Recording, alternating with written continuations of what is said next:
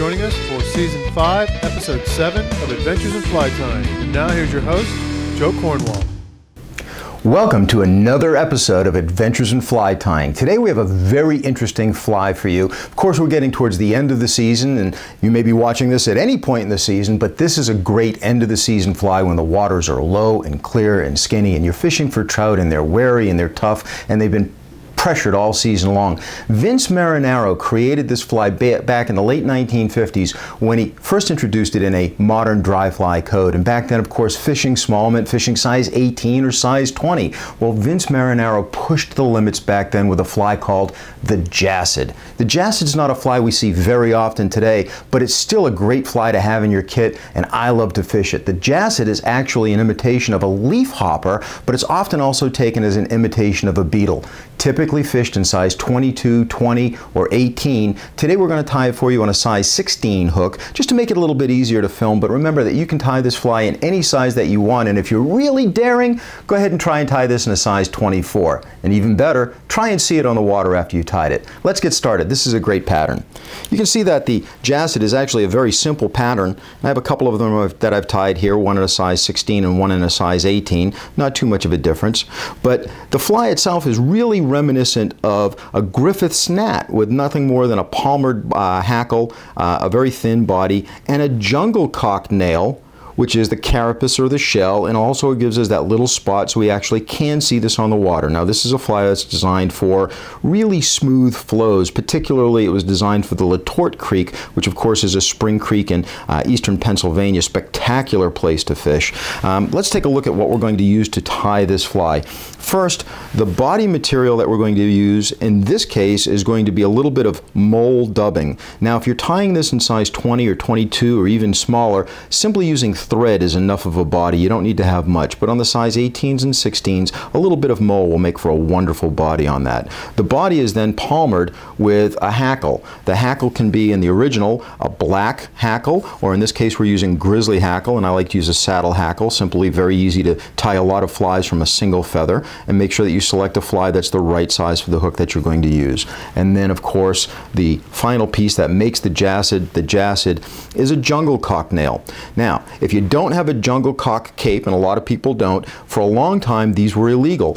It was difficult to get jungle cock in the 1970s and 1980s, which is one of the reasons that we really didn't see this fly too often. But lately, we're starting to see farm-raised jungle fowl that are being imported into the United States. They're easy to find. You'll get them at a lot of fly shops can order them for you. You can get them at fly tying shows. If you get a B-level cape, you'll probably spend a little bit under $100, 80 to $100, maybe even a little bit less than that, or you can get all the way up to a super cape for a couple of $300. But let's take a look at what we're going to use. These are the nails that are typically used for the cheeks on streamer flies. But if you come down here to these very small nails, they're seldom used on those streamer flies, but they're perfect for this jassid. That's what they're used for. Try and choose a jungle cock cape that has lots of color and a minimum amount of split eyes. But once again, we're tying fishing flies, not show flies, so a little bit of a split on the nails certainly not going to matter to the fish. Let's get started with this pattern pattern. I'm going to use a standard dry fly hook. In this case, I'm using a Mustad 94 or a 94 840 dry fly hook. And for tying this, I'm going to use a size 16. But if I was fishing this, my favorite size is a size 18. Occasionally, I'll venture down to a 20. I have a personal belief in not fishing anything smaller than a 20 because I can't see it. And if I can't see it, I can't fish it. But in most instances, an 18 will do just fine. Great little beetle imitation. Start by using, we're using a 10-aught thread here. Lay down a simple thread body. And the first step that you want to do, select the correct hackle. You want to tie that hackle on so that the colored side of the hackle is facing up. That will allow the hackle fibers to splay out in the right direction as you wrap this palmered hackle. Once you've got that on there, what I'd like to do is use a little bit of this mole dubbing, and I'm going to clip a little bit off of here.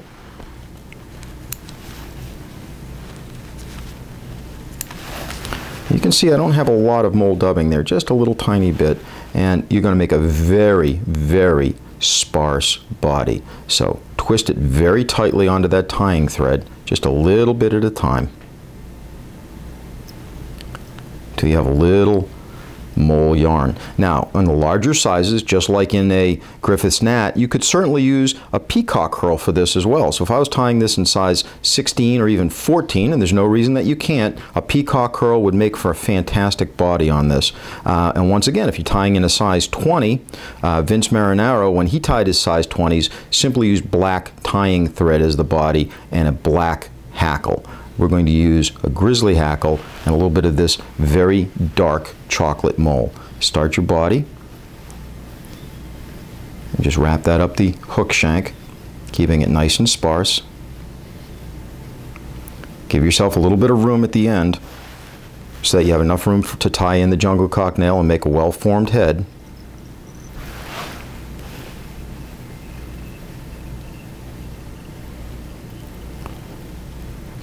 And you can see that I've given myself about one and a half times the hook eye to be able to finish off that fly. Now, about five wraps of this grizzly hackle will be more than sufficient to float this fly.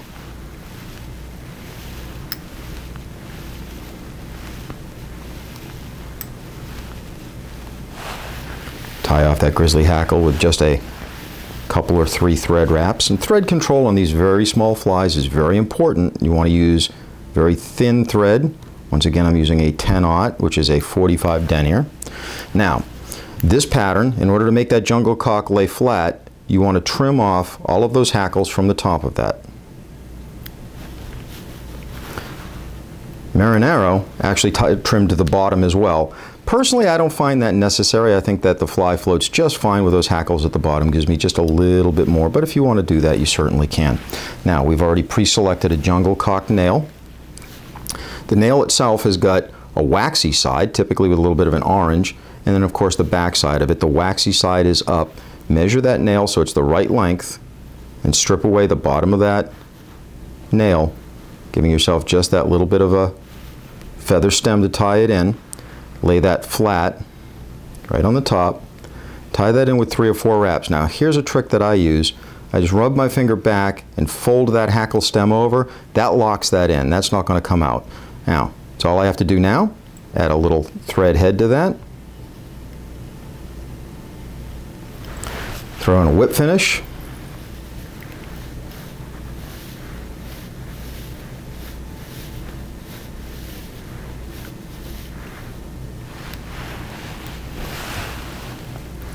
That's about as easy a fly as you can possibly want to tie. It is a super classic pattern with a tremendous amount of history, created right here in the United States to fish for brown trout. Isn't that a pretty little fly? Real simple. I'll tell you what, that is absolutely something you want to fish from, I'd say late July, all the way into early October, those low water conditions when terrestrials are out. What a fantastic little pattern. Vince Marinaro's Jassid. It's a fly you don't see every day. Show them something different, and thanks for joining us on Adventures in Fly Tying.